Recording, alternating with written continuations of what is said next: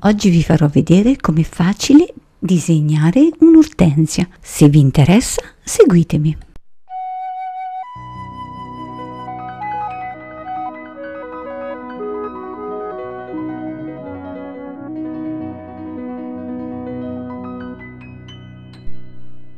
Procuratevi un foglio di carta da disegno, una matita, una gomma, un piattino e guardate qui dei fiori di ortensia.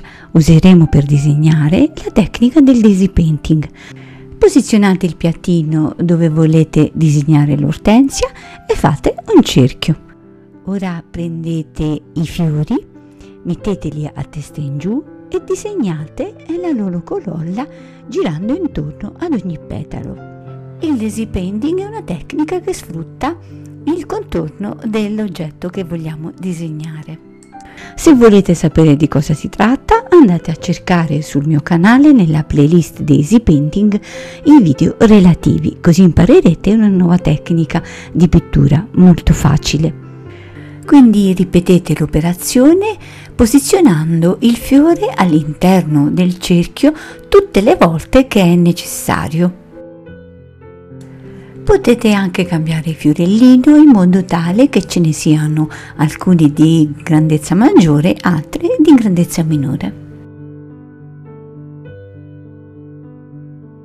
Se i miei video ti piacciono, condividili, così dai la possibilità ad altre persone di conoscere il mio canale e di poter imparare attraverso di esso. Non dovete rimanere all'interno del cerchio, anzi qualche petalo deve uscire fuori perché i fiori sono messi sì in una forma di palla, ma comunque i petali tendono a piegarsi e ad uscire fuori dallo schema rigido del cerchio.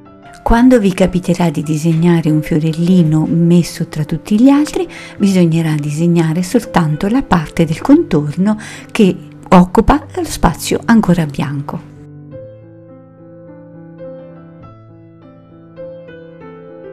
Ecco qui tutti i fiorellini della nostra ortensia.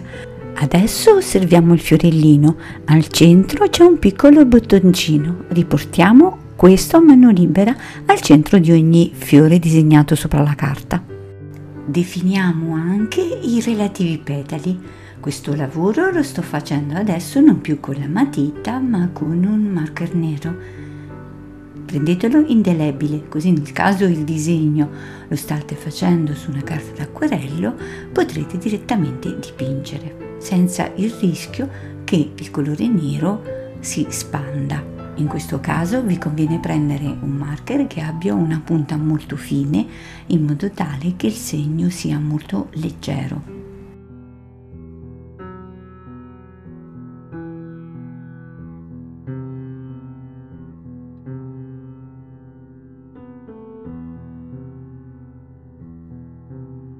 Man mano che vi avvicinate alla fine del lavoro, date uno sguardo generale e cercate di comprendere dove è necessario ancora mettere qualche petalo, qualche mezzo fiore, qualche pallino e poi alla fine concludete e osservate il lavoro in tutta la sua interezza. Disegni di ortensia ne trovate anche sui miei album nel caso non sappiate disegnarle o non avete voglia di provarci. Questo che state vedendo è l'album numero 5 e qui potete trovare un disegno di ortensie in forma lineare. Questo album è dedicato alla pittura su stoffa, ma questi disegni sono utili anche per grandi lavori, per esempio sulle pareti, sui tavoli, sulle ante degli armadi e così via. Sono stati pensati in forma lineare o circolare. Nel caso siate interessati all'acquisto, vi lascio il link in descrizione. La matita potete anche aggiungere tutti gli spazi in ombra dove non sono disegnati i fiori che vengono realizzati facendo il tratteggio. Questo vi aiuterà durante la pittura perché li potrete andare a mettere il colore più scuro già direttamente e sapete dove cominciano e finiscono i fiori perché vengono evidenziati maggiormente dal colore scuro. Passiamo adesso a disegnare la foglia. Come nel caso del fiore utilizzerò la foglia vera. che verrà posata sul foglio nel punto che ci sembra ideale e di cui riprendiamo la forma del contorno.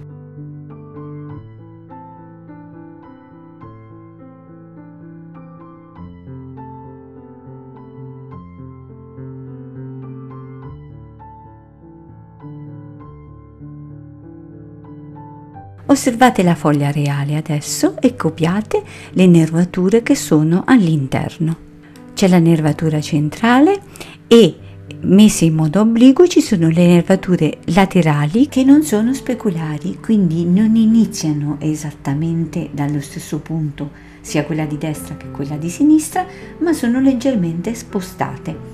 Speculare quando è la spina di pesce nel caso de, invece di queste foglie osservate una leggermente più sopra quella precedente che sta dall'altro lato. Adesso a mano rifiniamo il contorno della foglia dandogli la seghettatura. Ricordatevi che i due lati della foglia scorrono con le seghettature rivolte tutte e due verso la punta.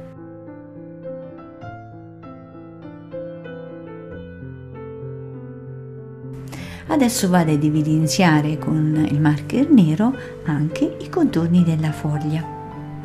Evidenziare con questo colore nero il disegno vi aiuterà a conservarlo bene per molto tempo e soprattutto sarà più facile utilizzarlo più e più volte come copia nel caso lo dobbiate trasferire su un supporto da dipingere.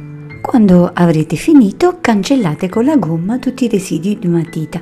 Come vedete il disegno è molto bello e pensate che se ne disegnate tanti potrete fare anche un mazzo di ortensie. Non mettete freno alla vostra fantasia.